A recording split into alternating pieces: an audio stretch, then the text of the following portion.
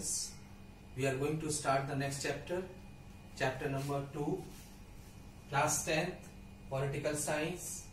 What is federalism?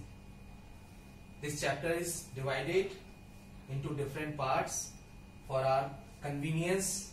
This is part 1. What is federalism? What is the meaning of federalism?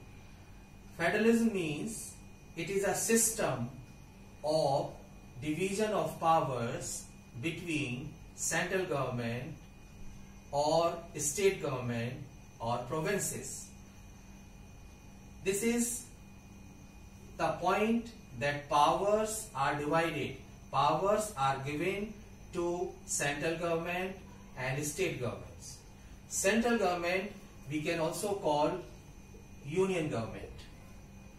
Central government is referred to the government for the whole country, for the whole nation, entire country.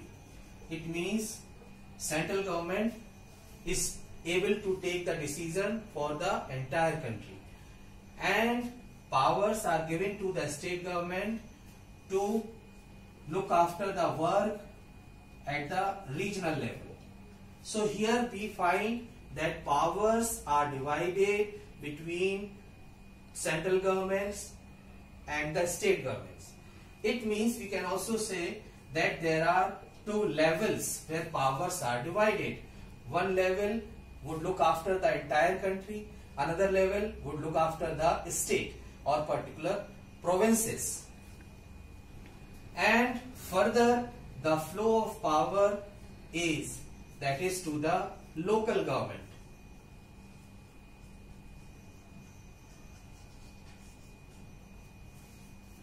So, division of powers flows from the central government to the state government and further to the local government. And the important thing is here to see that all these two levels they are independent to use the powers means independently central government can use power state government can use power and later on local government can use power. So this is called the division of power how the powers are given to the different uh, level at the different level. State government they can take the decision. Means central government cannot dominate them or central government cannot dominate to the local governments here local level powers are given to the local government so local governments can also take the uh, decision and use the power so independently powers are divided at the different level. This is called federalism or division of power what we follow in India. The best example we can see India that of federalism that in India the same system has been followed. And if you would recall the example, if we recall the example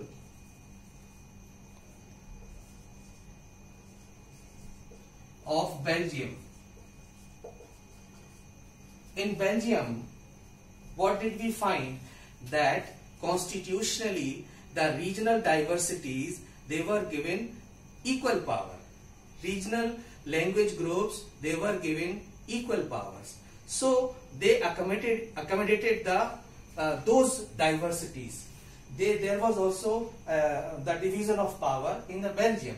Comparatively, we find that Sri Lanka did not follow this. Sri Lanka did not divide the power. They did not they did not follow the division of power and they did not give the recognition to the uh, regional diversities. So uh, we can say that India is another best example for the division of power.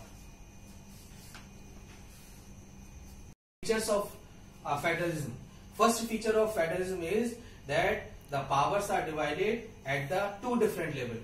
Two or more levels or tiers of government. Is given here? That powers are divided at the two different levels, central level and state level.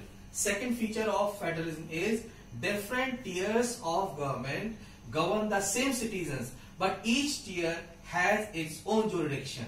It means that different tiers means different level. Different level means central government and state state government. So central government and state government they are independent to take the decision for the citizen. But they have their own jurisdiction. They have their own jurisdiction in the matter of legislation in the matter of taxation in the matter of administration. It means here suppose there is a person a. Person a is living in uttar pradesh. It means the person a would have to follow all the decisions of the central government as well as the state government. Person A, he is living in Uttar Pradesh, but the person A has to follow all the decisions taken by the central government as well as the state government. So, it means that both the government has its their own jurisdiction.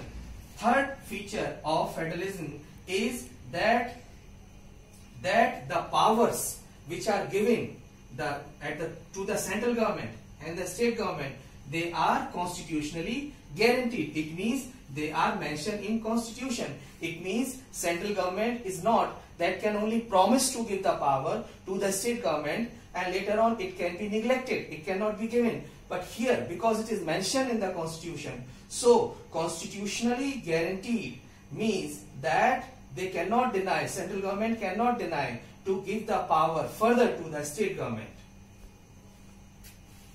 Point is fundamental provisions of the constitution cannot be unilaterally changed.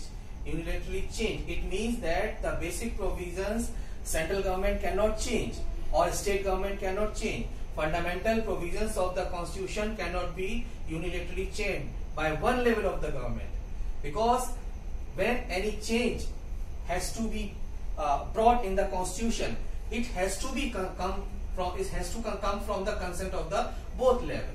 Both level means here that central government also uh, has to give its consent and state level also has to give its consent means both the governments are involved. It means that independently if union government or central government wants to bring any change as per its desire then it cannot bring in bring any change in the constitution. It cannot bring uh, any change, it cannot dominate, it cannot impose its will. Next point is the role of the judiciary or the courts. Only courts, it means the third organ of the government. This is the third organ of the government because it has uh, an uh, it has an independent position. It has uh, unbiased position it has the power to interpret the constitution. Only courts has given, judiciary has given the power to the constitution. The highest courts acts as an empire. Empire means the courts or judiciary would look after look that the state government and the central government uh, whether they are working as per the constitution no, constitution or not the next point is the revenue means the income because both the levels should have or must have their financial autonomy. Financial autonomy means that the that they are in, independent to have the finance or money because without money no government can work. So source of revenue for each level they are clearly specified that what will be the income of the central government, source of income of the central government, what will be the source of income for the uh, state government. And the next point is or the next feature is the that federalism has two objects, dual objects. One object is to safeguard and promote the national uh, unity and the second is to accommodate the regional diversity that we have seen in the example of Sri Lanka that it was not accommodated but in the example of Belgium it was accommodated. So these are the features of federalism. Between the two types of government here, one is the unitary system or unity government, another one is the federal government uh, in unity government there is only one level of government. Means only the central level of government is there. Their powers are not given to the state governments. And central level they have they are very powerful because they can pass orders to the state government. They can pass order they, and the state government will have to follow their orders. But in contrast federal government there are two levels of government. They work independently central level and state level. And the state government has its own power. They have their own power. as given by the constitution. And it is not answerable to the central government. Means central government cannot pass order to the state government. There are two kinds of routes through which federations have been formed. One is coming together federation. Another one is holding together federation. In coming together for federation we that we find that state different state they come together on their own on their at their own will and they form the bigger unit. They pool their sovereignty to retaining identity just to increase their security. So they become they become uh, more powerful. They come together and they become more powerful.